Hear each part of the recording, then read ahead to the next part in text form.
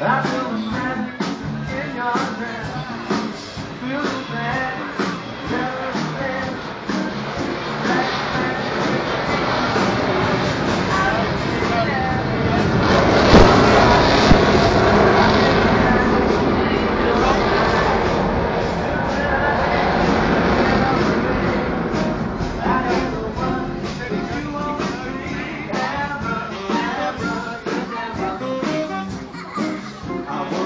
each other now.